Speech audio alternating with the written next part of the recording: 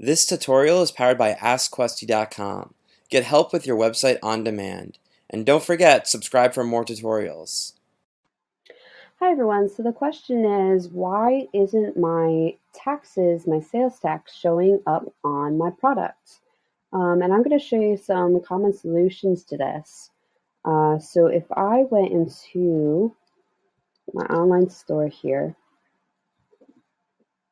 and I went to my cart um, here and I wanted to check out, and it says taxes and shipping calculated at checkout.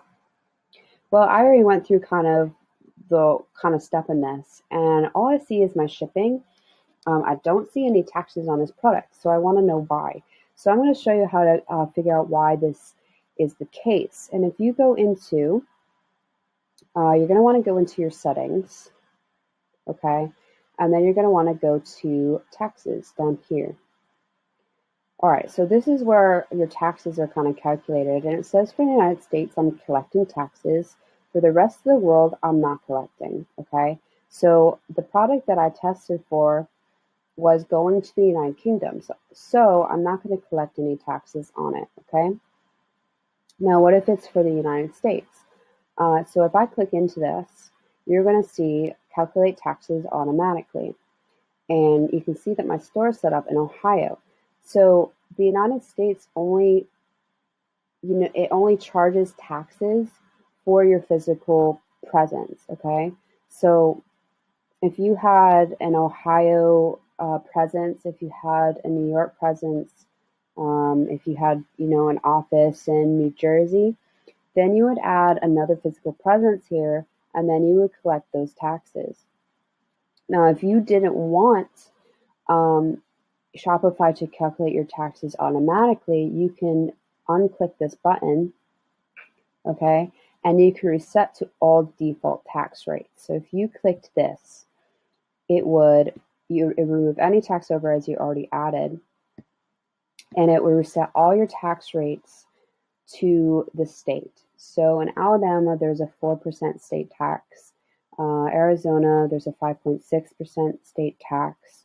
Alaska doesn't take any out. So it's really going to depend on where your customer is buying from, where these sales taxes are going to be uh, added, how much is going to be added, if any at all. Uh, so you're going to have to kind of figure that out. Um, like I said, usually this is fine just to keep it as calculated taxes automatically to make it a little bit easier.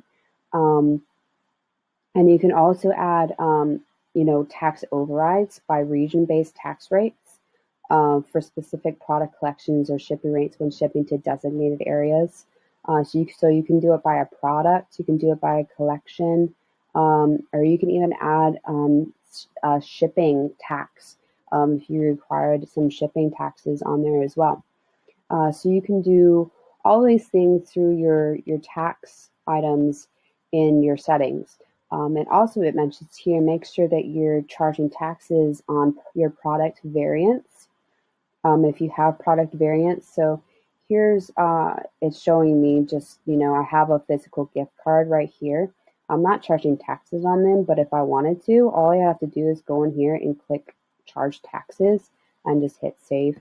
And it will add the taxes um, where the taxes were due. It says let's say product variants because it's a it's a digital one. Um, but that is where there's where that would be. Um, and if you go into your test product, make sure also that you have charge taxes enabled in the product itself. So if you scroll down to your pricing, make sure that this mark is checked, charge taxes on this product. If this isn't um, marked, you're not going to be charging any taxes, um, and you won't definitely won't see it in the checkout. Hope this helps, and I hope you have a great day. Thanks for watching. If this was helpful, please subscribe.